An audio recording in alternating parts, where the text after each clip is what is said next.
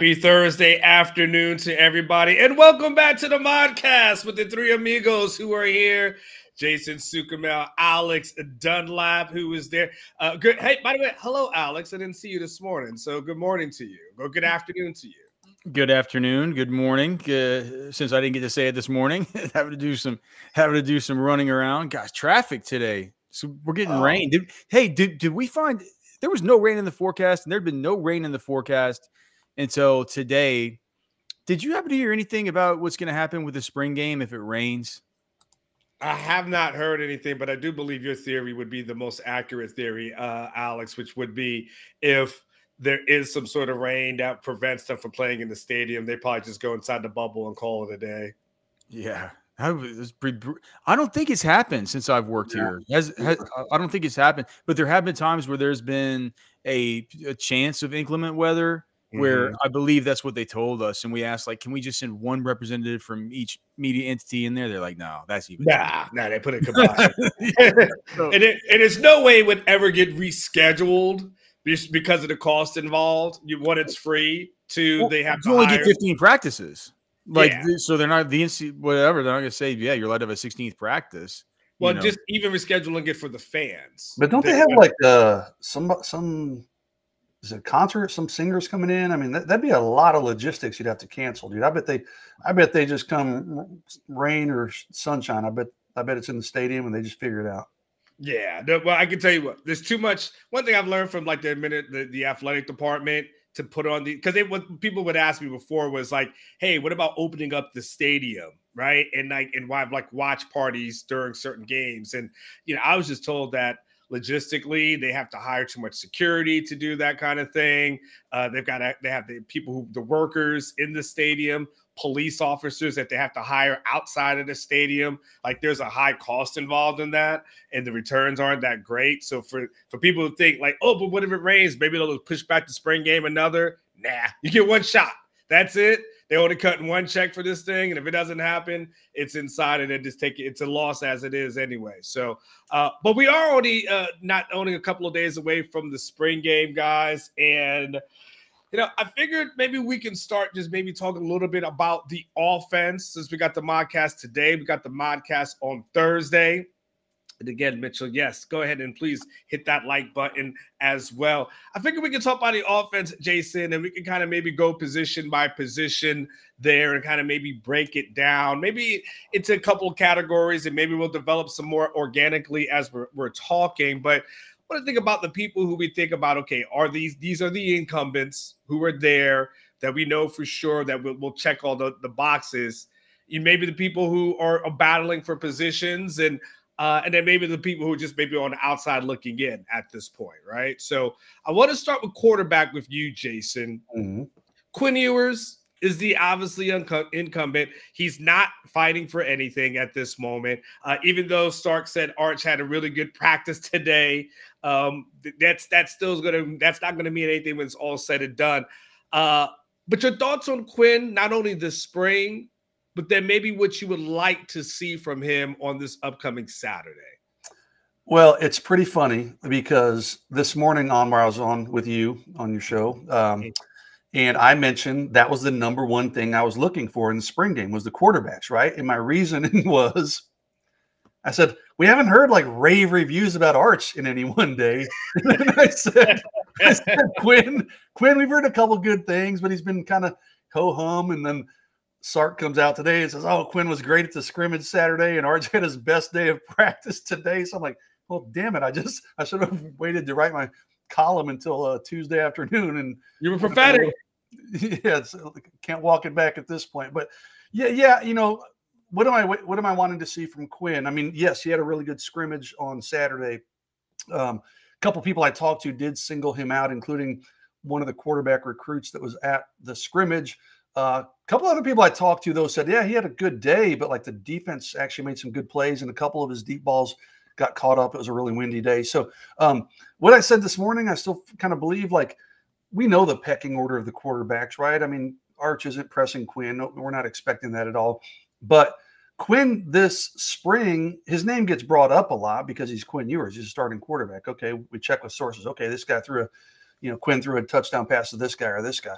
Um, but it hasn't been other than kind of Sark today, it hasn't been like, oh my gosh, Quinn Ewers has been phenomenal all spring. He's taken it to a whole other level. Um, is that because people just kind of expect good high level play from Quinn and they take it for granted when it happens?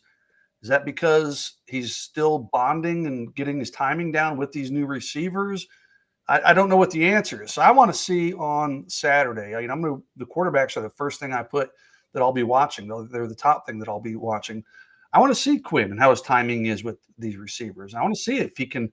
Hey, has he taken that next step? I mean, people say how how comfortable he looks out there. So I want to see it for myself. We haven't really got to watch a lot of, or I guess any live action. We saw, you know, saw routes on air. But we haven't seen live action. So I want to see. Mm-hmm. Looks as comfortable as sources have said he's looked. His just his reads are quick and decisive. Uh, you know, and then obviously we'll see what kind of progress Arch made. I tell you what, man, I'm, I'm, I'm excited to see Trey Owens, the freshman, and I know uh, uh, Sark today mentioned um, the kid Cole Lourds. Cole Lourd. Yeah. yeah. So uh, you know, uh, these guys have been in this system, other than Trey, you know, multiple years now, all of them. So there should be a level of comfort, and I'm, I'm kind of excited to see all of them, starting with Quinn, of course, Arch, and then I want to see Trey and Cole Lourd as well put some respect on Cole Lourd's name. Hey, dude, man. I love Cole Lourd. I Cole Lourd came in as a preferred walk on, and somebody tipped me off. So I, I got to know Cole Cole and I broke that story and like he's like the kind of kid you're like, okay, if that dude ever asked out my daughter, I'd be like, you better go out with him. He's a yes sir, no sir, like super kind, super polite guy. So, so good for good for Cole Lourd, man. I like to see him having some success. Damn it, and, and damn it, Alex, I see your depth chart here that you send us. I think we need to add in a fourth guy. just just saying, Alex, because that's on so scholarship. I, I forgot. I don't think he is. I don't think he ever got put on scholarship. Scholarship guys only on the depth on the depth chart. Oh, oh wait, wait. So did, what did you do with Michael Taaffe uh, the other years when he wasn't on scholarship? but was playing a lot. I think well, I'll always make it. I'll always make a. Uh, nah, see, I'll always, I'll always make an exception for Westlake chaparral. what, what about Quinn for you, Alex? Man, I just I I I think I'd like to just see Quinn. You know, I like to see Quinn go out there and look like he's looked. Man, I th- I think Quinn's looked awesome. I think he's slinging it, dude. I think he's dealing this spring from what I've seen. So I I, I think that the fans could be excited about it. It was it was interesting, man. I feel like I've been hearing this kind of narrative a little bit lately. Earlier today, I recorded a three hour draft preview show for SiriusXM that they're putting across um, the Fantasy Sports channel. I, I, think maybe a few other channels just to, to replay over the course of the next week. I did it with with Cody Carpentier, who's who's here at Orange Bloods too. And um, man, whenever we talked about some of these dudes like Worthy and Mitchell, JT Sanders and stuff, Art um, Quinn Ewers would just kind of come up in passing and it's begun to feel like me that feel to me like the whole Quinn Ewers thing is sort of tipped on its head from last year, where last year everybody was talking about how Quinn Ewers was just the nationally, you know, how he was the next coming, you know, the next big thing, just this elite prospect, all this stuff. To where I was like, uh, well, I feel like I feel like I, I feel like I watch it pretty closely. I feel like I, I could maybe see a little bit more out of the guy, right? Mm-hmm. Now this spring, it's like these people come on and they're like, well, Texas runs this whack offense where it's this RPO, you know, this RPO system where they just give Quinn Ewers that one, you know, super easy first read and all this stuff. And, you know, Quinn's not that good, you know, stuff like this. And like that, that might have held back Worthy because they couldn't connect and all the, you know, they had trouble establishing a connection, yada, yada, yada. I mean, all talking points that we had last year at certain points, right? It was like, hey, what happened in this game? What was wrong with the connection here? You know, what, like what was misfiring here? But when I look back at the whole body of work, I, I I thought Quinn was good last year, man. You think about the think about the the Big 12 championship and some of these other games, man. I mean, Quinn Quinn came to play a lot of the time, and I really have been impressed with him this spring. I think he's looked I think he's looked steps ahead of where he was then. I, I think he's taken a step forward. And it's just interesting to me now that I'm the one, you know, last year that was sort of eh, kind of Jason Suchomel tapped the brakes ish about this guy whenever asked about him for people in the national media, you know, saying is, you know, is he going to be a top 10 quarterback? Whereas now it's like it feels like people are down on him. I'm like, man, you got like he's playing he's playing the best ball that I've seen him play right now. So I, I hope he gets out there. I hope he slings it. I hope the Texas can see some good deep action, can see some of these deep balls that we've seen, some of these really, really, really pretty balls that he's placing in there. And also for me, something I haven't seen because we haven't got to watch any red zone team drills. I just hope that things look smooth in the red zone. It feels like that's something that we didn't see as much last year, but something that's been you know, reported to us is like, man, the offense had trouble getting drives going, but man, they got down into the red zone drills and boy, they were, you know, this like bang, bang, bang. It's like, wow, that's like bizarro world compared to what we saw in actual games last year. So it, w- it would be neat to, I think, see him connect on some deep balls with the Johntay Cooks, the Isaiah Bonds, the Matthew Goldens, the Ryan Wingos of the world, and also, you know, see uh, how the passing game's going down there in the red zone and who who the preferred targets are. Like that, those are the things that I'll be interested in seeing from Quinn Ewers. Jason, what does our world look like if Arch Manning has the performance that Maalik Murphy had in the spring game of last year? Uh, there'll be a lot of talking points and a lot of a lot of buzz out from outside from the fans, right? Um, mm-hmm. Um, I don't think it matters, Anwar. This is one one practice. I mean, yes. You I don't think it. it would matter with that guy in that name if he no, put on. It'll matter. It'll, it'll, it'll matter for Sports Center and stuff like exactly, that. Exactly, Alex. Correct, it'll be a correct. huge talking point. It'll be all over Orange Bloods, but you know, unless Alex wants to make me another bet, Quinn Ewers is the starting quarterback week one. I don't care what happens between now and week one. Quinn's going to be the starter. All right, that's that's that that's fair enough.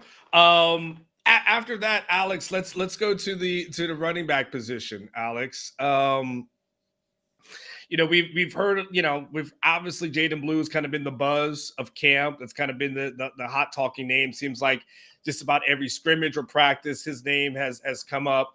Uh, we've heard Christian Clark, we've heard Jerrick Gibson. Uh, there's you know CJ Baxter. We know uh, is the starter for you, Alex you know, what is there anything you need to see or want to see from from those running backs? Is there any question for you as far as who RB one is versus RB two? Like, I'm just kind of see how do you break down that running back room? Well, I mean, I think there has to be a question for anybody. I think anybody saying that they know for a fact that CJ Baxter or Jaydon Blues are ahead of the other, I think that that outside of the coaching staff, I think that would probably be kind of wrong, right? Because yeah. I mean, there's just so many. You know, on one side you have one Jaydon Blue, but by the eyeball test looked better last year. You know, down the stretch. You know, you have on this in the same hand that all the reporting has been Jaydon Blue looks awesome. You know, it's not just from the coaches, it's not just from the sources of practice, it's from like recruits, right? That Jason talks to. Or it's like, you know, it's like eh, no one has any sort of agenda when they're talking about Jaydon Blue. There's obviously something pretty cool going on with Jaydon Blue in practice. On the other side, every time I've been out there, it's always CJ Baxter who's the first one up, and Sarkisian loves him, and Sarkisian would have started him over the guy that would have that would have won the Doak Walker Award last year had he not gotten hurt, Jonathan Brooks.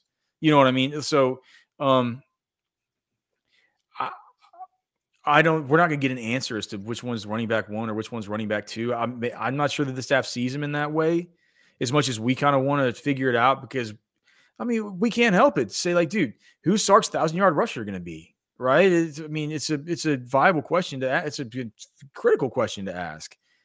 If this offense is going to be run like Sark wants it to be run, we, we said we said it a million times. It's like he he has a thousand yard rusher. He can say he needs complimentary backs all day, and he has needed them. Right? But one is taking a definite back seat every time. It's like that's the way it goes the way that their two bodies profile, it seems like Jaydon Blue definitely profiles more to be the change of back, change of pace guy. But as he's gotten as he's gotten bigger and put on, what is his weight right now? Is it, do we talk about this? Is one ninety five? Um, Jaydon Blue, you're talking about? He's, yeah, he's number twenty three, right? Uh, so uh, one ninety eight. They've got him six foot one ninety eight. He's he's up to two hundred pounds. He can he can hold up at two hundred pounds in college football, man.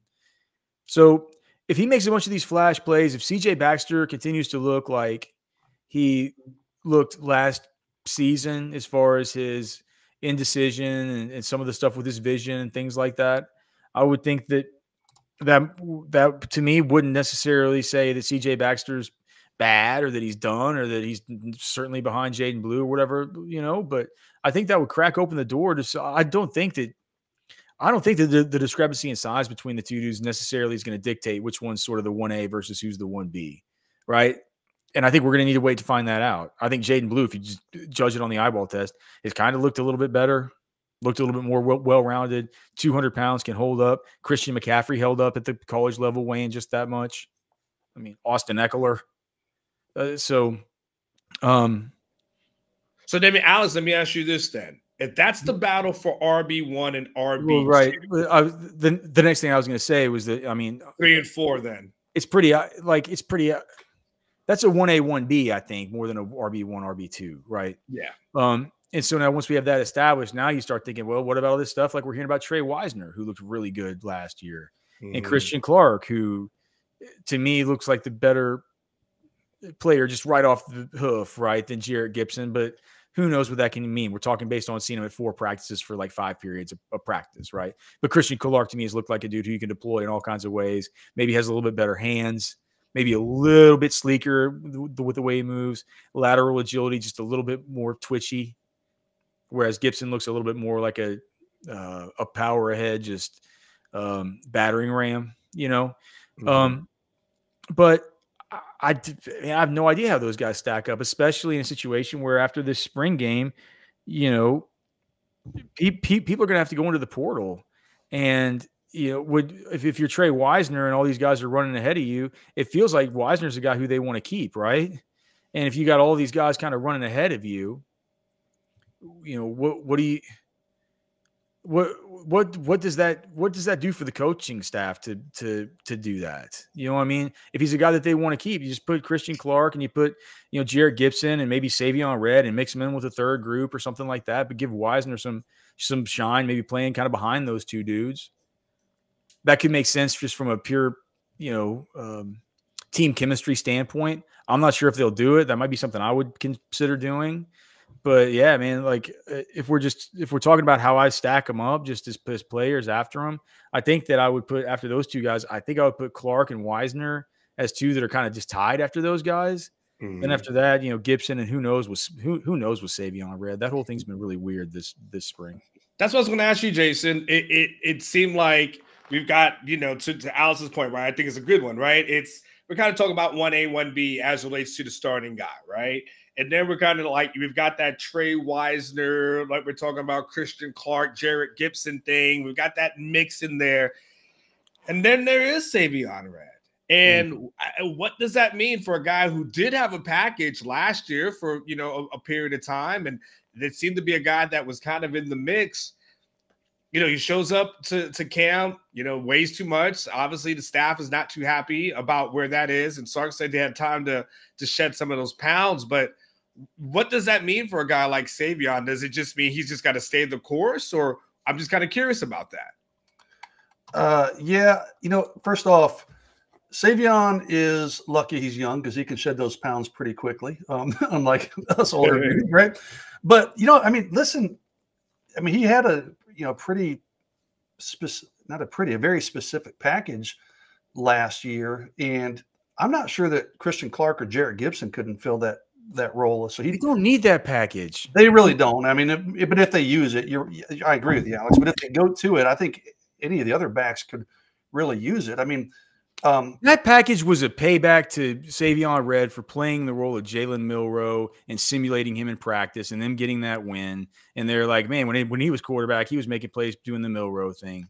Well, he is a physical runner, so I mean, I think it was fine at first. You know, I mean, he can fall forward and get you those short yardage gains, but I just don't know what his role is going to be. I mean, we said 1A and 1B. I mean, Tre Wisner has had a fantastic spring. I mean, every seems like every time we check around, his name comes up. It happened again uh, over the weekend. So, I mean, he's going to figure in at and some today, point. Sark mentioned him, by the way. Today he did. Yeah.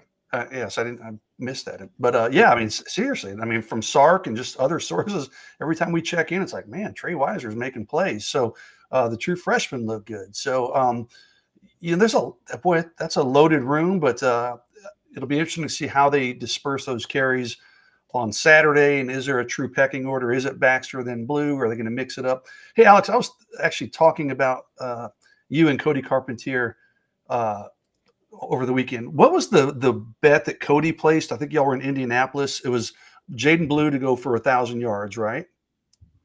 Oh, I forgot what that was, but Cody, Cody, Cody got it at like four hundred to one or something. Yeah, dude, that's what I, was, I, said, I think it was like five bucks, something like that. I said, I'm going to Vegas in May. I've already got plans.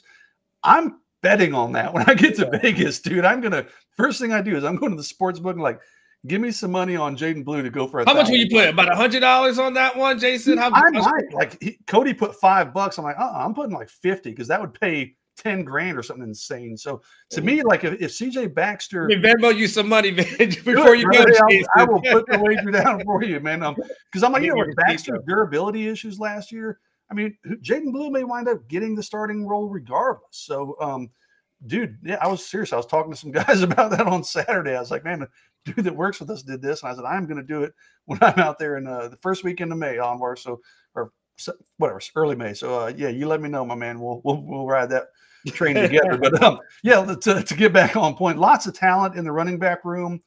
Um, you know, again, I don't want to make too much out of one practice, one spring game, but you know, it might give us a little glimpse of uh, maybe how they're going to use Blue and how, versus Baxter. How big of a, a role is Tre Wisner going to have? And Trey's a versatile dude. I mean, you know, he he brings a little bit different. He's got kind of some Jaydon Blue speed to him, but he's also a threat as a receiver. So, you know, uh, Trey does some different things, kind of maybe a little bit differently than some of these other guys. So it'll be be inter- interesting to see how they use him. Right, Alex. Let's go. Let's go O line before we have the uh we get into the really really tough stuff with the, the receivers and the tight ends. So let's let's go O line for you, Alex.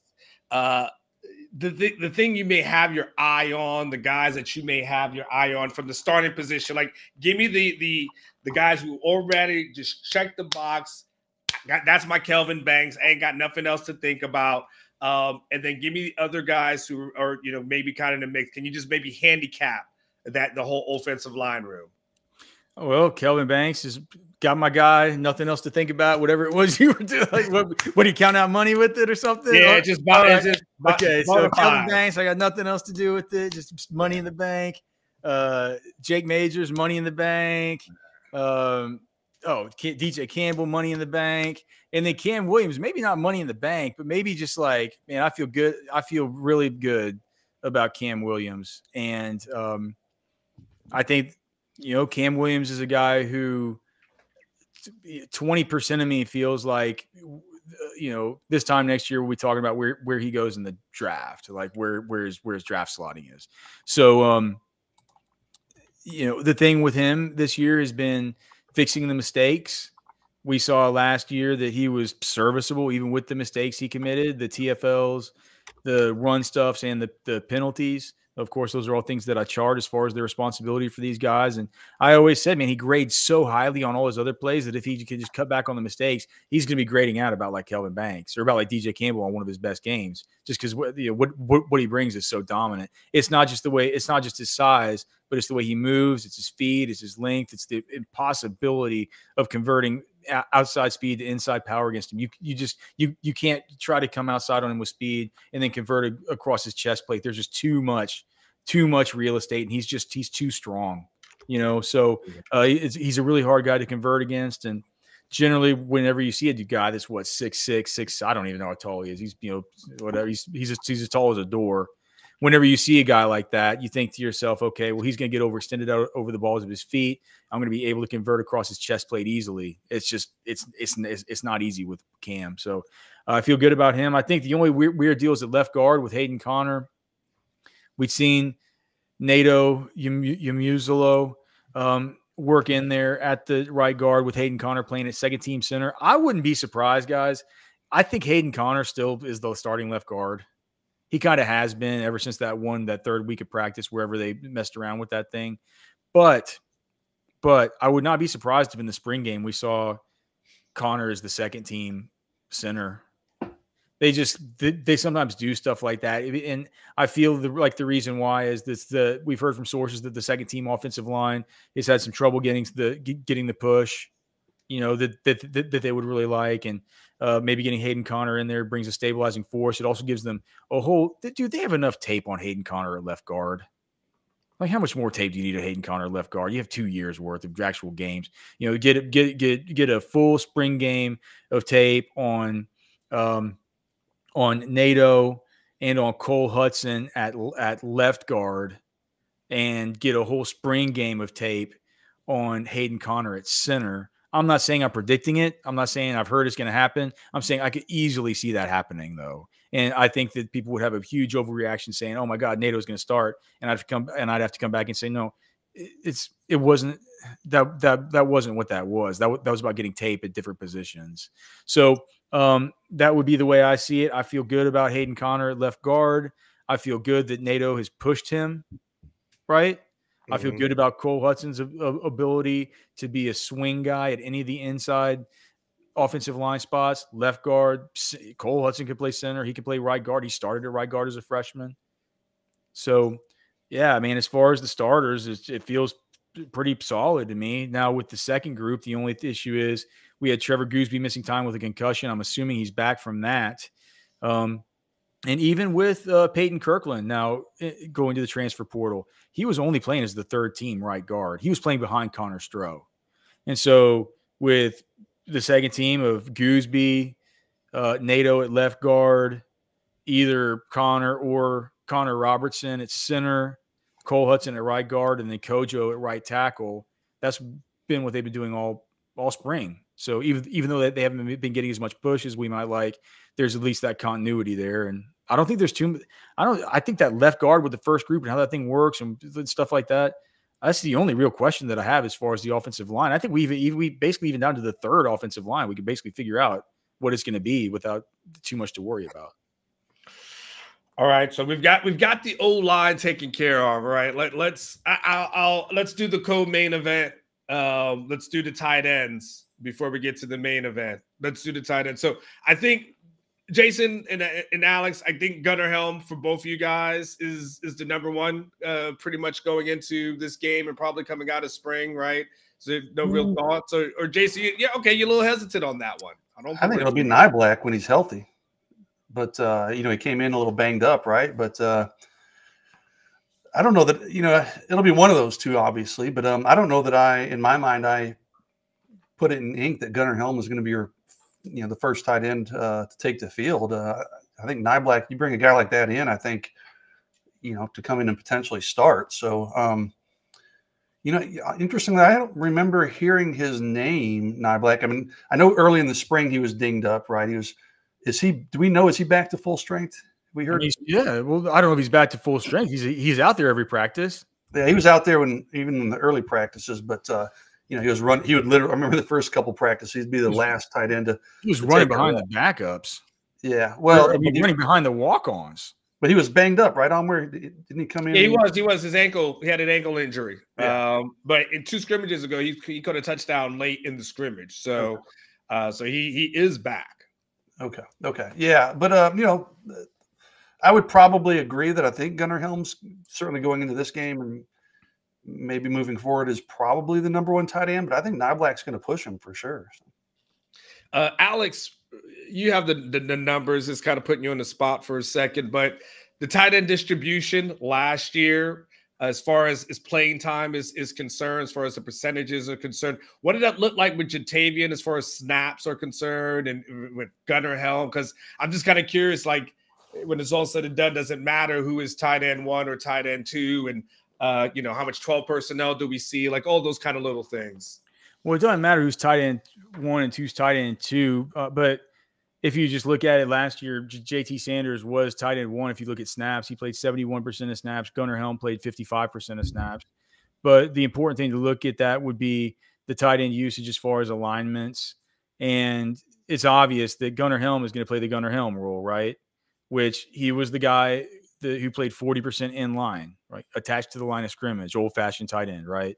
Line up with your hand in the dirt next to the tackle. Sometimes you block a guy. Sometimes you run out with a little tight end drag or, you know, you know, a little dump route, stuff like that, seam stuff. Um, whereas uh, he, he was there 40% of the time by far, you know, JT Sanders was, was in line 20% of the time. So he was, he was in line double the amount that JT Sanders was uh, Gunnar Helm played. So he played 40% of the snaps. And look, I'm rounding. It's 39.16, but basically 40% of snaps in line. He played 50% of snaps at H-back, and he basically played 10% of snaps It's split out. It's almost exactly what it was 40 in line, 50 at H back, so 50 at that spot where they're kind of got their hand in the dirt back there, mm-hmm. offset with the quarterback, or maybe where they're not on the line of scrimmage, but they're sort of in that same alignment, but they're backed up on it with their with their face mask sort of near the hip pad of the offensive tackle, right? They're kind of offset like that. And they'll be, you know, in that case, in when in those cases, whenever they do that, it's usually a split zone concept wherever they they take the whenever the offensive line runs zone like this, they run the opposite way and they go and hit the um, the defensive end that's left open that the that the left tackle, say in this case, would have left unblocked, right? The end man on the line, they go block that guy for the for for the, for the cutback in these split zone and zone slice concepts. So you need a you need to be a good blocker in that spot. JT Sanders failed a lot last year in that spot. He played there 60% of the time. He was in line 20% of the time, and he was split out tw- uh, 20% of the time. So basically, JT Sanders, his role is the role that I think Niblack will eventually move into, where he's playing double the amount of time split out. He's playing as Gunnar Helm. He's playing half the time in line, and he's playing 10% more of the time at H back. And if he does play that role that JT Sanders played last year, and Gunnar Helm plays the same role he played this year, then Niblack would be the tight end one by the um, by the by the snap percentages because that's what JT Sanders was last year, and they utilized that tight end in this offense as part of the platoon more frequently than they do the more inline tight end like Gunnar Helm plays. So J- this leads into this, Jason. T- today, I didn't have it necessarily in my report, but it, it, I, may put something to com- compile this. Alex, once again, and I, I, I know I called out mentioned this to Jason. Once again today, Steve Sarkisian mentions Juan Davis. Hmm. And he's asked about, hey, you know, are there any guys who basically end up being a little bit more competitive than you had expected? And he goes, well, he starts off by saying, like, no, not really, because if we, we wouldn't have recruited them if they weren't, you know, competitive or anything like that. But he goes, but he goes, but I do like a guy. And he said, for example, Juan Davis. He goes, sometimes you're a scout team player, you're kind of in the background a little bit with JT and Gunnar. Uh, that maybe not all your competitive spirit gets to come out all the time. But he goes, but now he's really rolling. He's in there with the ones and he's playing good football. I'm probably seeing more of his competitive spirit more than before. Uh, we knew that it was there. Uh, there's more coming out of him. So he goes, that's an example of that. And he continues to mention Juan Davis. This is not a one time thing. Like it, it has literally come up at nearly every press conference. I hear Gunnar, I hear Niblack, but can I hear anything about the potential of Juan Davis? Is that as a guy who's being overlooked by any stretch of the imagination? Jason, I'll start with you. Yeah, I think so. I mean, listen, you know, he had flashes when he was real young, but then he kind of went underground when JT Sanders came in. But um, when Texas recruited him, this was Tom Herman's staff that recruited Juan Davis, and they didn't. I remember talking to someone. They didn't like him being listed as a tight end. They said just list him as an offensive athlete because this guy can do so many different things, uh, more than just a traditional tight end. He can be an H back. He can play running back. Uh, I mean, he, if you look at his high school film, man, out of Everman, he dominated at the high school level. So he's always been a really good, unique athlete with good size that can do a lot of things that guys his size can't do. Uh, like I said, he could play running back in a pinch. So, um, not totally surprised Anwar to hear his name come up. I mean, I think he could certainly have a role. I mean, you've got the top two guys, right? We assume are going to be uh, Gunnar Helm and Niblack, but you know you're going to need a third in there at some point. And it, I would, I mean, no offense to Spencer Shannon or Will Randall, but I don't think they've done a lot. Jordan Washington is still young, obviously tons of upside there. But yeah, I mean, I could see Juan Davis certainly carving out a role in this offense with his versatility, and obviously sounds like he's had a really good spring. So uh, it'd be interesting to see what he can do. Uh, you know, starting on Saturday, and then obviously carrying into the fall. Alex, will you buy? You will you buy any Juan Davis stock? I mean, I just I don't think Amari Niblack comes here to lose a job to Juan Davis. I mean, I'll I'll, I'll, I'll eat my words if that's wrong. But I mean, I've seen what Niblack did versus like Jahdae Barron in Tuscaloosa at, at, night last year. Like I've I've never seen Juan Davis do that stuff on a college football field. So we'll see. I mean, I think Juan Davis has looked good so far. You know, I, I think he's looked good so far. I think that, um, You know, and, and it, dude, if he did, it would be a great story. I'm not anticipating it, but it's like who knows? Uh, like I wouldn't have would have anticipated that the Juan Davis thing would have gone on this far. So who knows? I might not be good at anticipating the whole Juan Davis thing. Okay. Um. All right. Let's last one, Alex. I, I, I do shows with you every day, so I already know where you are as relates to receivers for the moment. So I'm gonna I'm gonna I'm gonna back and of course we did a show last week that clearly uh you know stirred the pot and, and got everybody kind of worked up. Uh, I, I, I, I, told y'all that was choosing violence.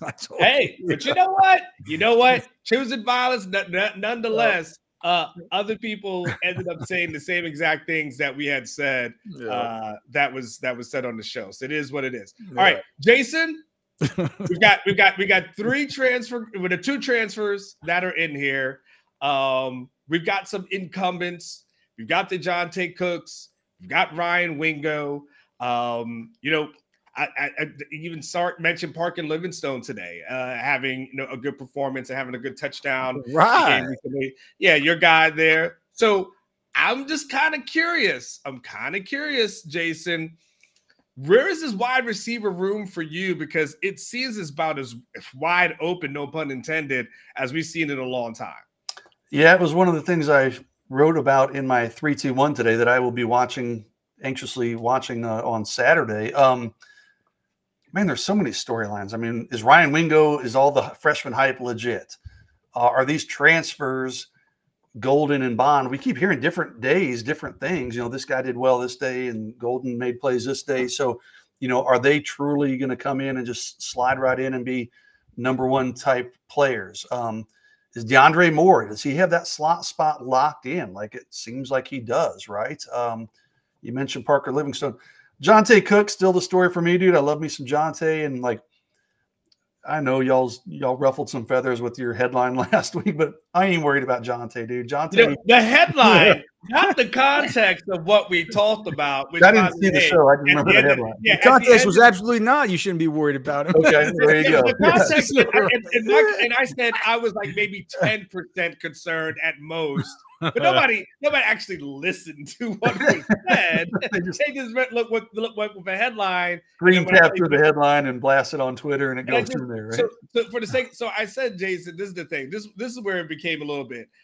If Alex and I just had said yes, then there's no there's no conversation. So I said, I said, Alex, let me play devil's advocate for the sake of argument, and I threw some things out there. And that's when like, oh my God, he's anti-John. I was like, no, I literally said let me play devil's advocate. And I was yeah. like, ah, I got 10% worry. Nonetheless, it is, it is. You gotta have a point and counterpoint to have a little conversation. Have a conversation. Right? Yeah. So uh you know, and knowing Johntay, you know, and Johntay like seemed to take it in stride. You saw I saw his Twitter response. He's like, what are y'all bored or something, right? So, you know, Johntay, he's never one to back away from uh social media conversations and talking about himself. But um uh, yeah, man, Johntay is going to be fine. And you know, listen, knowing what I know about Johntay and his personality and having covered him as a recruit, Johntay had a touchdown at the scrimmage on Saturday. Maybe you guys lit a fire in him. I don't know.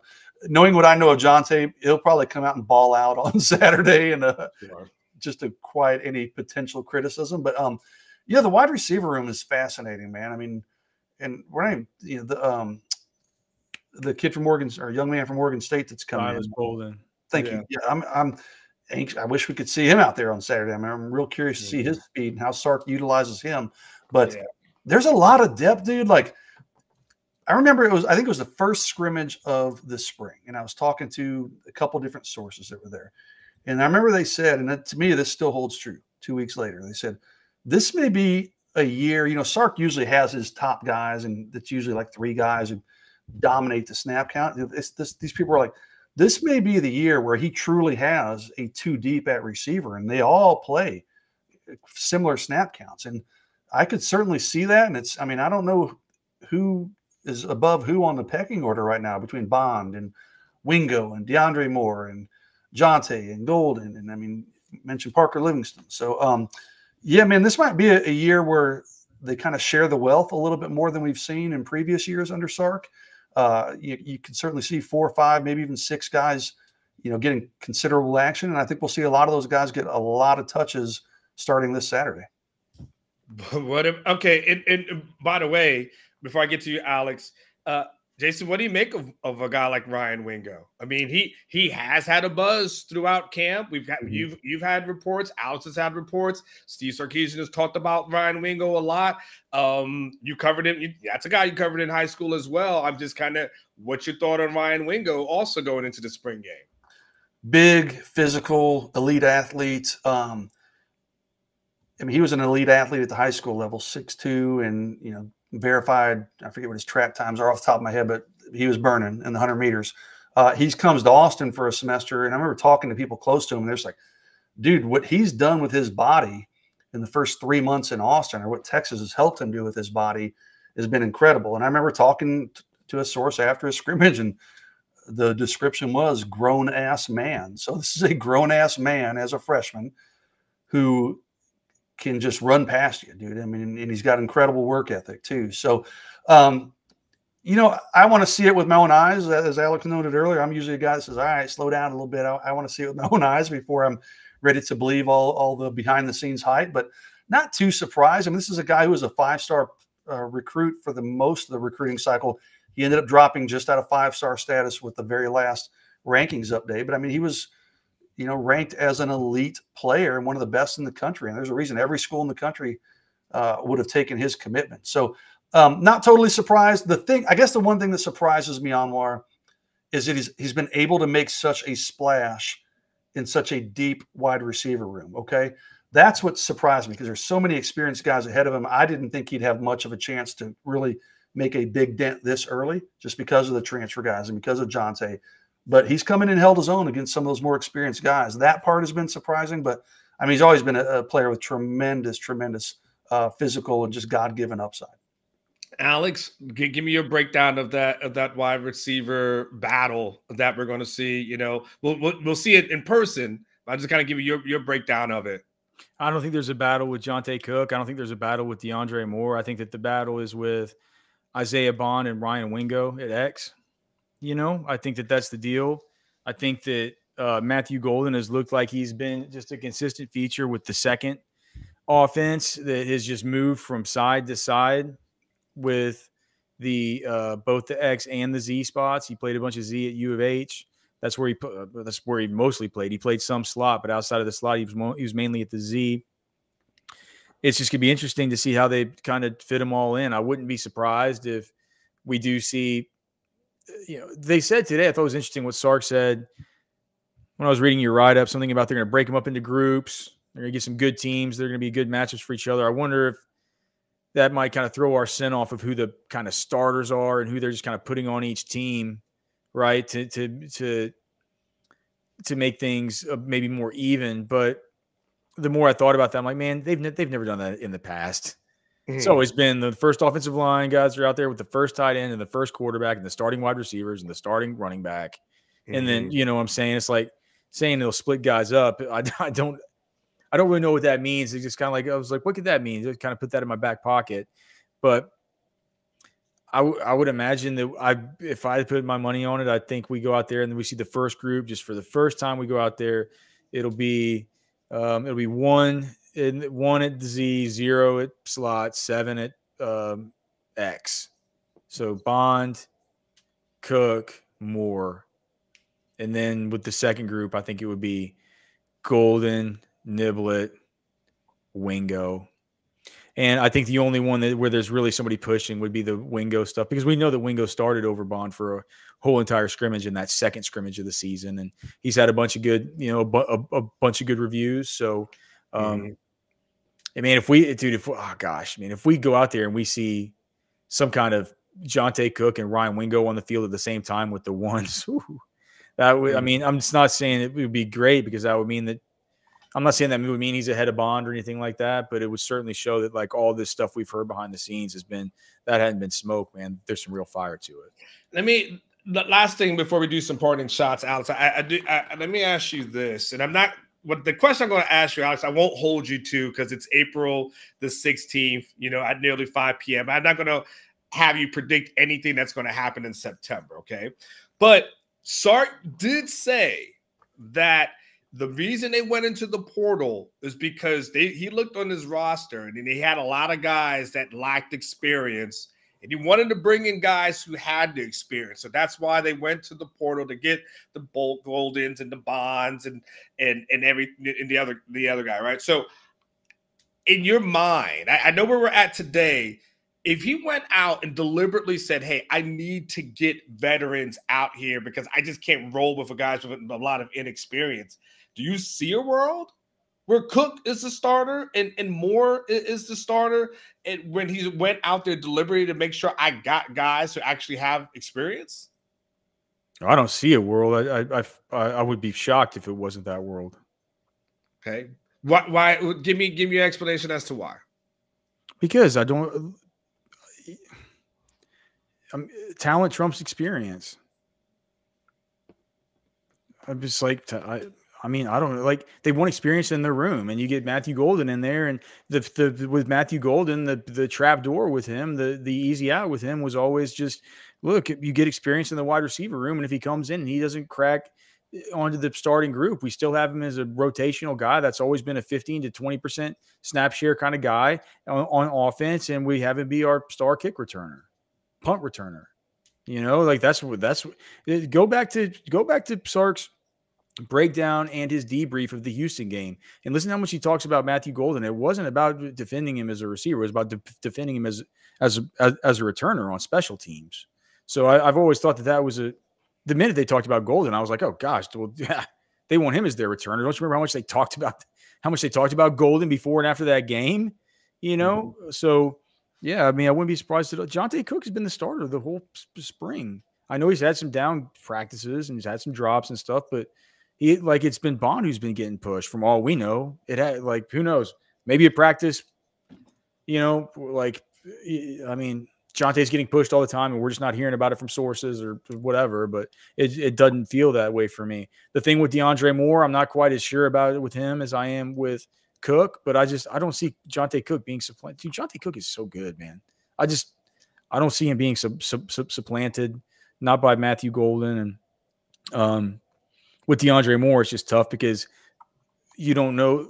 It doesn't feel like anybody else is really playing slot. There's only one scholarship slot guy behind him. So, can somebody else move inside? Silas Bolden, whenever he gets in here, he'd be like the least likely. Dude, Silas Bolden last year played 80 something percent of his snaps outside. So I don't really know how to, I don't really know how to um, answer that riddle except for to say just it's my opinion, and you were the one that talked to Chris Jackson about this, so you would be able to be to to you know bleed the nuance out of it better than I would just hearing it secondhand from you. But to me, whenever you explain it to me, I say I think about just getting more experience means getting more experience into the room, not necessarily getting more experience onto the starting group. If, if, you, if you bring more experience into the room and there's a ta- and there's somebody more talented that you would rather have in the starting group, I just think talent trumps the experience. You want the experience for the for the for the room, right? For the for the learning environment and for the culture as opposed to for the actual players on the football field. Um, Alice, uh, Jason, just real quick, because um, I think this actually is a good um, question by Bob, and this is kind of relates to you, maybe in the uh, the recruiting realm as as, as well. Um, do you, what do you think about Michigan going on on probation? Do you think that opens up any portal movement for Michigan? And let me just build on that. I also is Jason, um, does that does that affect Michigan from a recruiting standpoint? Are they going to serve three years of NCAA probation, pay a fine, uh, and face recruiting restrictions? Um, this is kind of an agreement that they reached that was announced on Tuesday. Um, there's also going to be a one year show cause for certain individuals. Of course, we know why Jim Harbaugh left, right? It just can you not go to the playoff? Uh, I don't. Um, if they're on NCAA probation, I don't. I would. I would imagine that would mean no. Uh, Three years of that. Yes, Alex. I doubt that's. I bet they. I don't know what the probation is, but I, I don't think they're going to keep him out of the playoff for three straight years. Um, in Bob, they're, they're, you got the preliminary. Huh?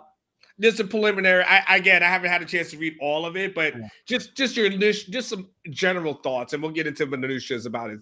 Uh, we all can go through it. My general thoughts. This is the same Bob Wyndham that was shitting on us in the chat a little bit ago, so we shouldn't take his question. um, second, secondly, uh, all hugs and loves, brother. All hugs and loves, Jason. Secondly, um, if those guys were getting into the transfer portal, they had an opportunity when Harbaugh left. So, I mean, I know, I know people keep talking about the defensive tackle, but I think that stuff's probably overblown. Those guys had their chance. They hired from within, so everybody seems to like the uh, you know the guy that they the he was their interim coach last year when Harbaugh was out.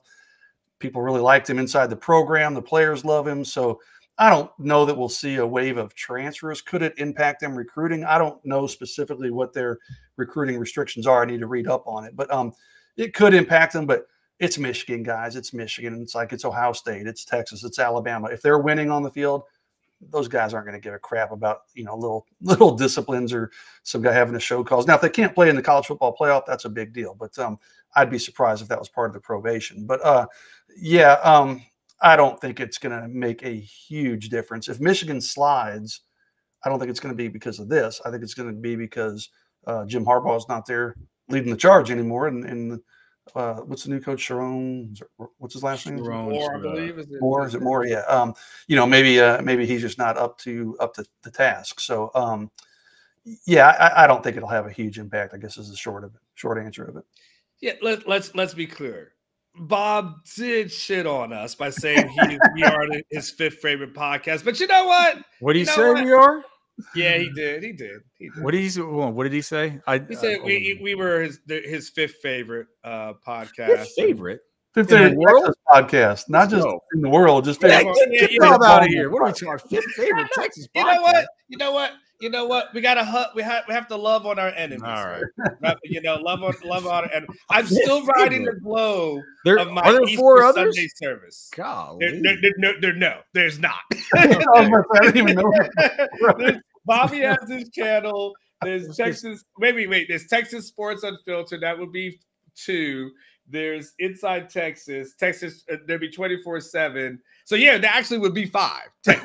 so we're dead. So technically, we would be. The, we would be even though, even Thanks though, for watching, Bob. At least he's watching. Yeah. Hey, least, even though our sub numbers are probably only under um, uh, Bobby, who's you know that our sub numbers only under him, but nonetheless, it's okay, Bob. Bob, Hugs and loves, brother. Hugs and loves from your from your favorite uncle. Uh, he's probably like, I, "You're Bob, come out to our uh, come out to our happy hour on Friday. I'll buy you a beer, Bob. Speaking we'll, we'll of bread. happy hour, thank you for reminding me, Bob Money B, haters and lovers alike.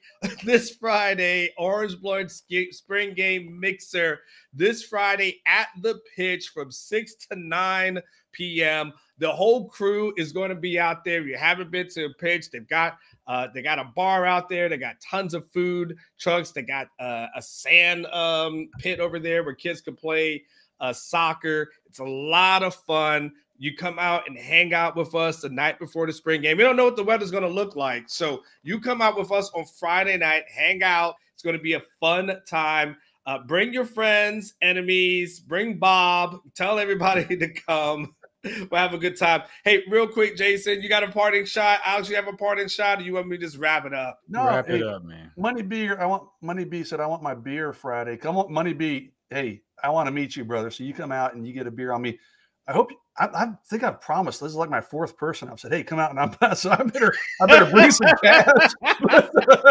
yeah, Money B, come on out, dude. I'd like to meet you if you're available. Jason's cheap ass. You better you better capitalize on that. Of course, Jason won't pay up, so don't even worry about It'll it. It'll be like a Busch Light, like a small, like a cheap ass beer. But uh, no, I'll buy you a beer, Money Beer. I'd love, you're a big supporter of us. I'd love to love to meet you, dude. So come on out and uh, hopefully see you there on Friday. I'll be out there as well. Alex will be there as well. And in fact, Alex and I will be back tomorrow for our fun buy or sell. I don't know what we're going to discuss, but we we ruffled feathers last week, so we'll see what happens. I don't think we're going to have a repeat of anything like that. So uh, for Jeff Ketchum, for Alex Dunlap, from Jason Suchomel, uh, you guys enjoy the rest of your uh, what Tuesday? What is today? Tuesday, Tuesday, Wednesday, Tuesday, Tuesday, Tuesday. Hopefully, hey Alex, that rain, by the way, that rain helped. Did it help your your lake levels at all? We need biblical rain to help these lake levels. don't you don't want to get me started, man. We'll we'll go way over an hour, dog. All right, I, will I'll do I'll do a buy or sell for you on that one tomorrow. All right, guys, everyone, take care. We'll.